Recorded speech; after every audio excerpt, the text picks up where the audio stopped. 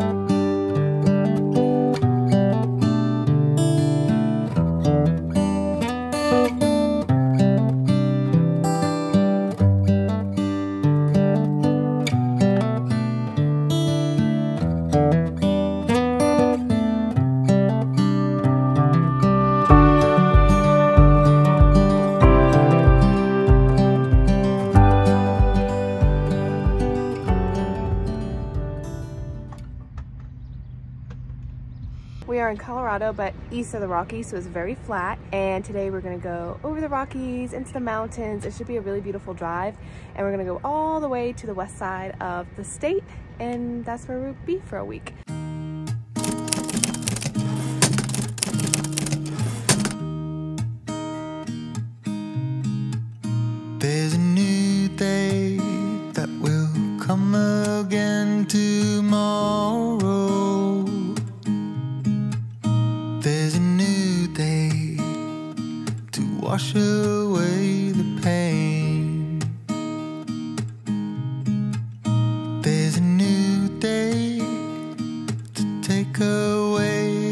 Sorrow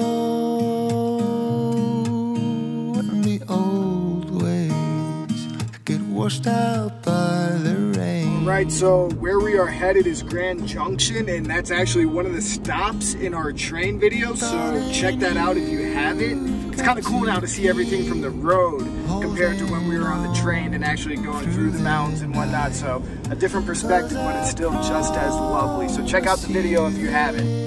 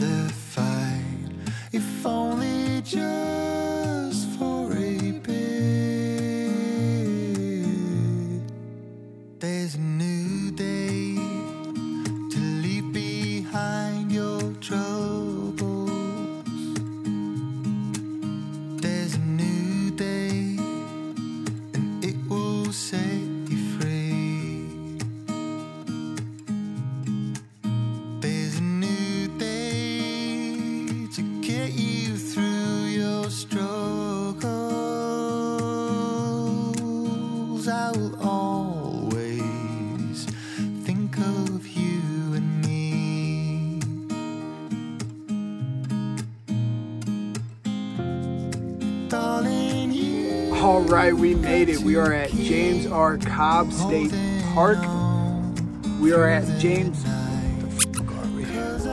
All right, we made it to James M. Robb, Colorado River State Park. It's a tongue twister. So it is right off the highway, but it is right next to the Colorado River as described, and it is beautiful. So we got here, it's still pretty sunny, but the sun disappeared behind the mountains pretty quick, and we can't wait to see what sunrise looks like. So we just got here, got everything set up, got the tent off the roof, got the chairs off the roof, and the girls are outside, and let's check it out.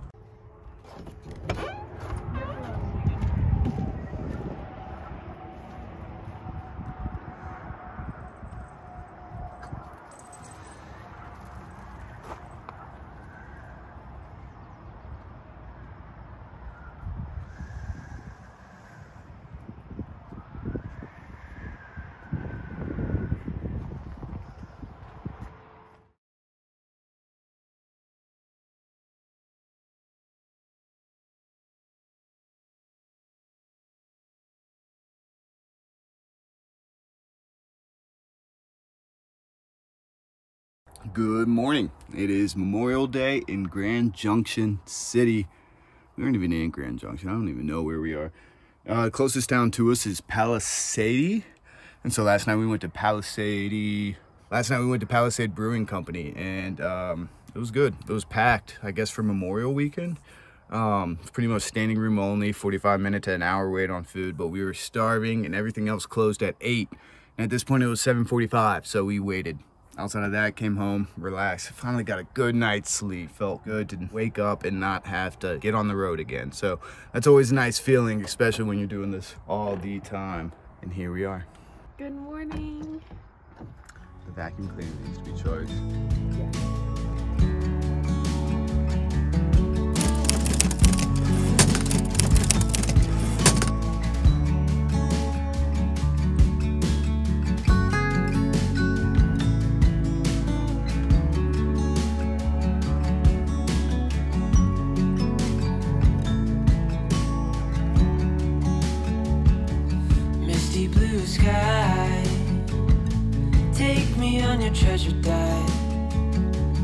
nothing to lose.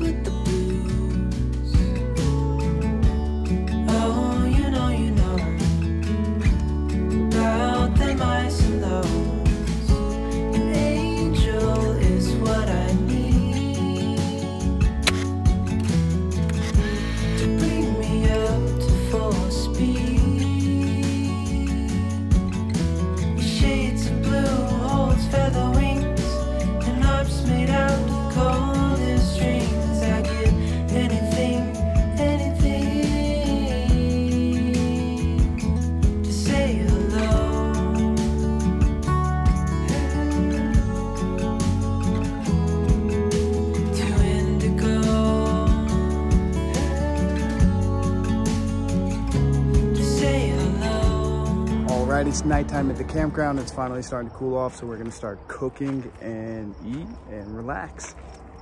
On tonight's menu, we have some basically protein, some beans, some cheese, and some tomatoes. And just coming back from the showers, ma'am, can we get can we get a review? How was it? Um, waters could be hotter. Wait, water could be hotter. Um, pressure was okay. Those are really my only thoughts. I like hot waters. I mean, hot showers. Oh, I didn't realize Peach was out. Oh, wildcat on the loose. So I think these showers were normally coin operated.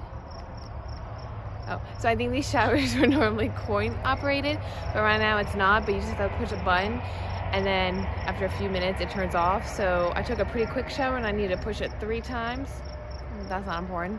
Anyways, you couldn't control the temperature, so it's just whatever that gave you. And during the heat of the day, I bet that temperature is very comfortable. At night when it's cool, not so much. But it's okay.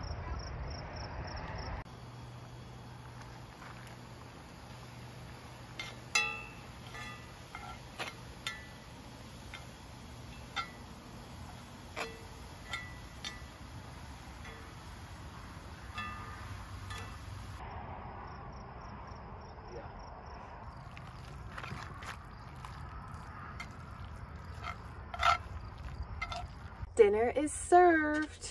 I don't know if you guys can see it. I'll show you here in a second, but Matt made a very nice dinner. We got a tortilla, which Matt didn't make, and then we got a, a mix of pinto beans and tomatoes and cheese. Easy and healthy. There he is. you hold this for me?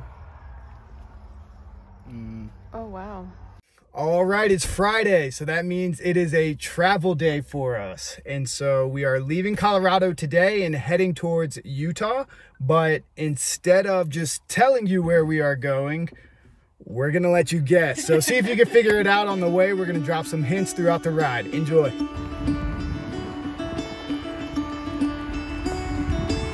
Caught behind Venetian blinds, out of reach for the city lights. This ain't where I belong. Hey, look at me, man, what I become. I've been running east, looking for a sunset, digging deep since '99. What I thought was gone was sitting in my pocket in plain sight all along. I think it's time for me